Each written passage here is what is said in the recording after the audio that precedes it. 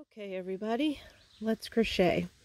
Today we're going to make a wine glass lanyard as you saw in the pictures before uh, the video.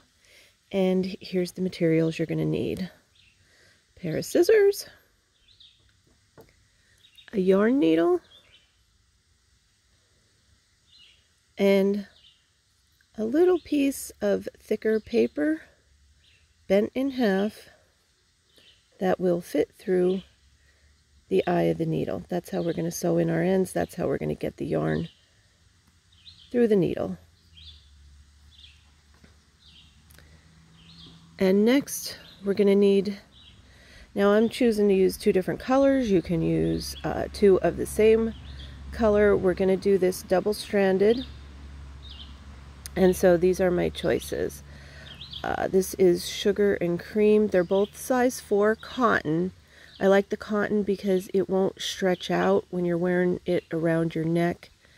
Um, so this is size 4 and this is Lily Sugar and Cream. It's 95 yards and the color is Jewels. And then this one I just got from uh, Dollar General. I think it was. It They now have yarn. This is 120 yards, and I don't know if they list a color on this, but uh, it's a grayish color. But you choose whichever two colors you like. And like I said, you can do it with acrylic. It just may stretch out. Acrylic has a tendency sometimes to stretch. You're also going to need a six and a half See that? Six and a half millimeter crochet hook. And I'm a fan of the Susan Bates. I just like a plain metal crochet hook. So let's get started. We're going to hold these two strands together as if they were one. And if you've never done that before, it may take a little uh, a little work, but you'll get you'll get used to it. So we need our slip knot.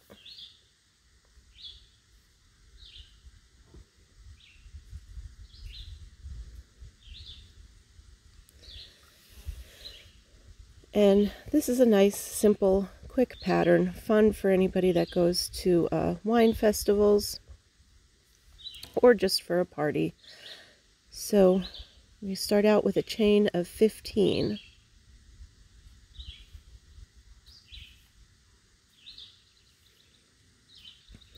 Then we're going to make sure our chain is nice and straight. With the thicker double stranded, it's easy to do and it's not that long of a chain. And we're going to slip stitch down here into our very first chain slip stitch, pull the yarn through both, and now we formed our ring.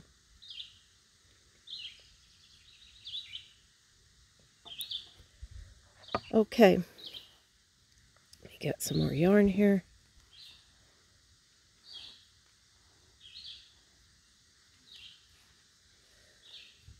And now we're going to chain one and single crochet back into that slip stitched. And we're going to do a single and notice I'm going over top of my tail just for a little bit. One more single crochet. And the next chain is going to get two single crochets.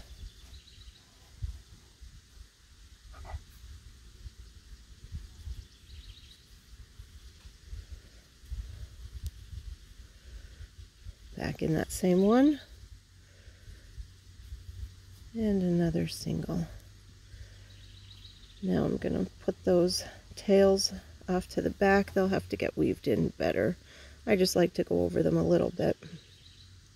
And so that is our pattern for this round. it's going to be two one single crochet one single crochet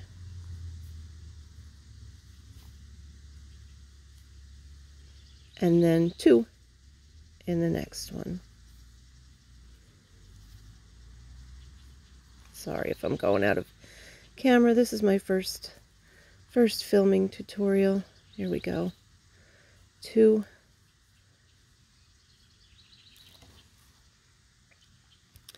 So it's one, one, two, one, one, two. Okay, I'll meet you here when we get around to the end. And so here's what we have.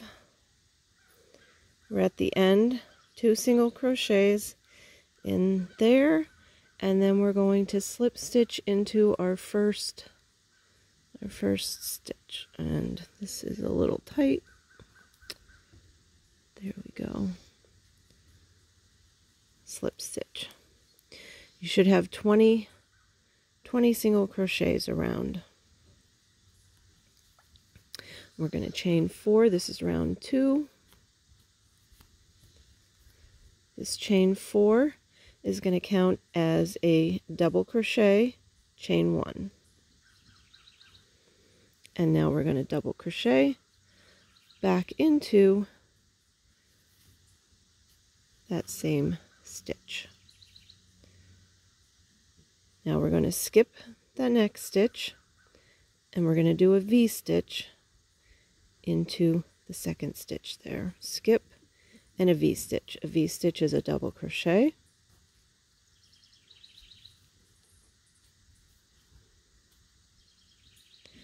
Chain one and another double crochet right back into that same stitch.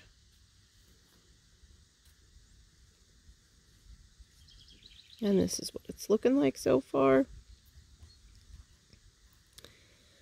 So we're going to do it again. This is our repeat. We skip the next stitch and right in there we're going to double crochet.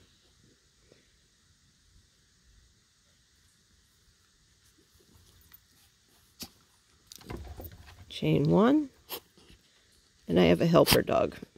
Hello, Stormy. Hello, Stormy. We're crocheting, baby. okay. First, we're going to pet. Okay. Now that we've been petted, let's see. Where were we?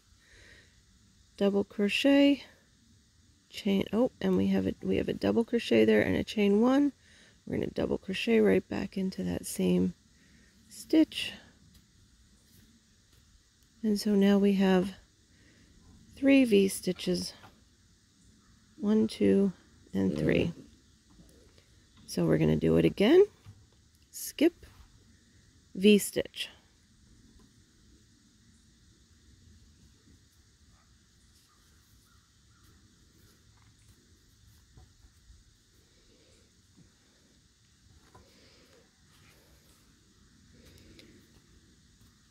And continue on to the end of the round and I'll meet you back here when we're when we're at the end. Look at how pretty those colors are looking together. We're at the end here. We have one more V-stitch to put in. We're skipping that stitch. We're going to V-stitch into that one. And then that's our skipped stitch before our first V-stitch of the round. So let's get our V-stitch in there double crochet, chain one, and a double crochet right back into that same, same stitch. Now we want to go to the third chain, one, two, three, and that's the one we're going to slip stitch into. Remember that's counting as our double crochet. So there we are. Round two complete. And now we're going to slip stitch into this chain space and start the process again. Four chains, one, two, three, and four, and that is going to count as our double crochet and chain one. So now we need our double crochet right back into that space. This time we're working into chain one spaces. So there's our first V-stitch of the round. We're going to do another one right in this space right here, our chain one space. So our V-stitch is double crochet, chain one, and double crochet right back into that space. Just like that. One more time. We're going to find our V-stitch and we're going to work in that chain space right in between. Double crochet, chain one, and a double crochet. Beautiful.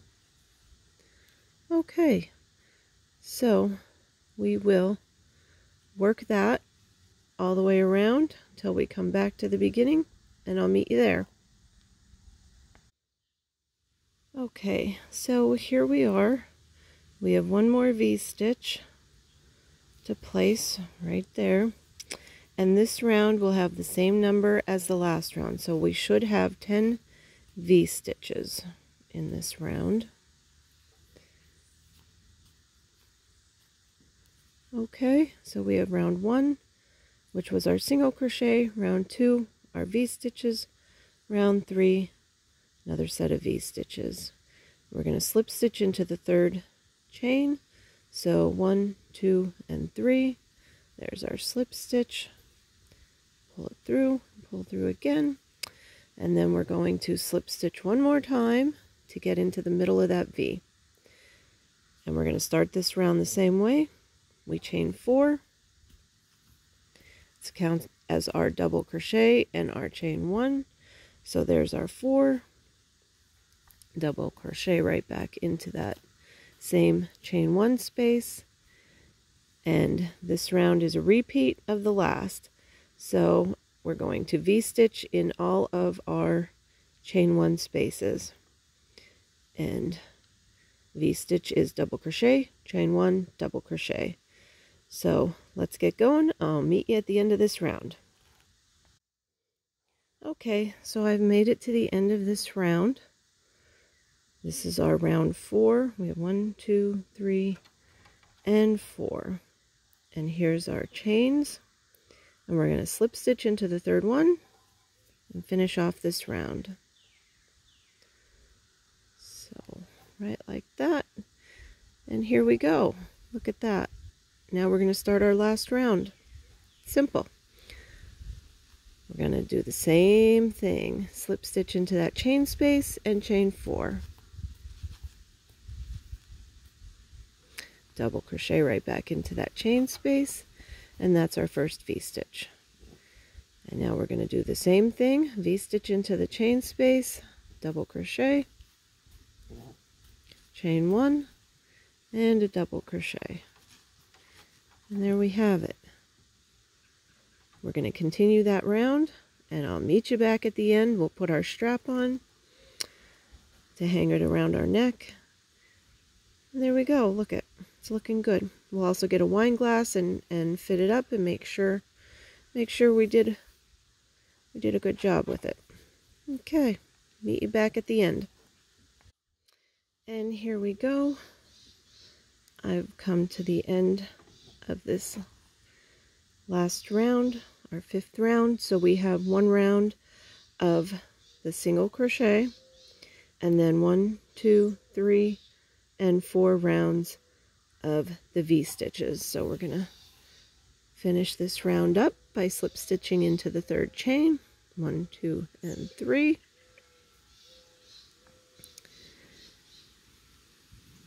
And then we're going to slip stitch into that chain space. And now we're going to make the lanyard part of our wine glass holder. So we're going to chain 80. Now you can make this, this is the strap for around the neck. You can make this as long or as short as you want it. I think 80 for me, it seemed like a good size, but feel free to adjust it up or down either way. So let's chain 80.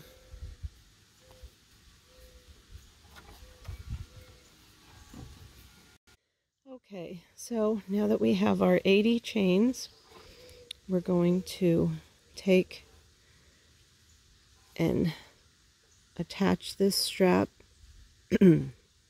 so we have, here's where we started. We're going to go over five. One, two, three, four, and five. And this is the fifth one. We're going to slip stitch to attach our lanyard piece. There we go. And now we'll cut our yarn, tie off.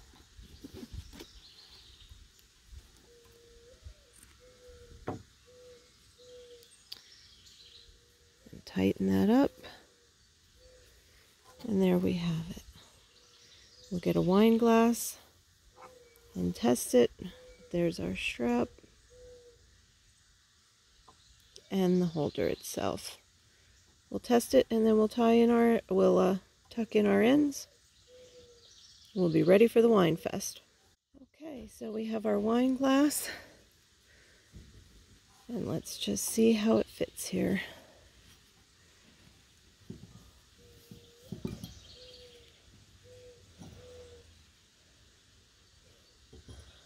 Perfect.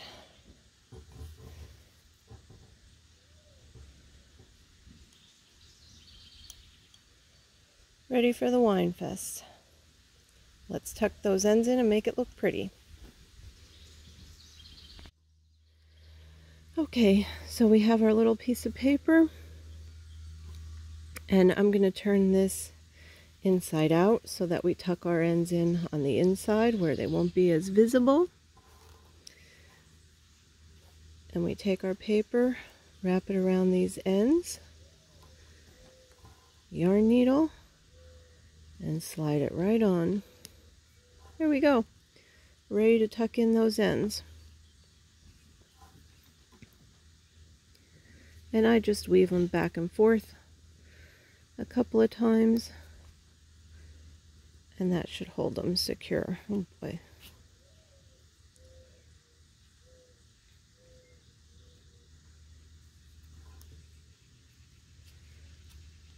Tough one when there's two strands. There we go.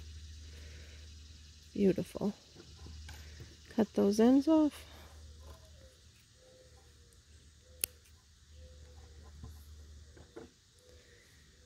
And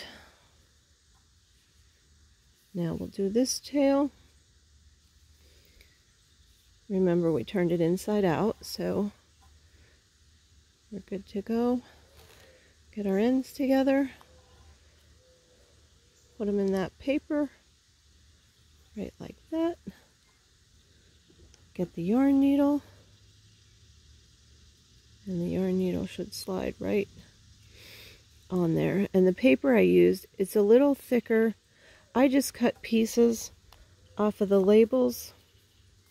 They wear out after a while and I just cut new pieces. When I get good thick labels I cut a couple so that I have them but to me it makes it much easier. And this end will just weave down. And take it back up.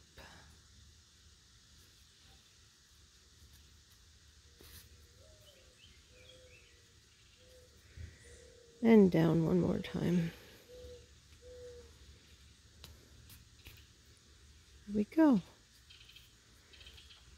Don't forget, that's on the inside. Snip them off. Flip it back around. And there we go. Excellent. Ready to roll. Let's put the glass back in there.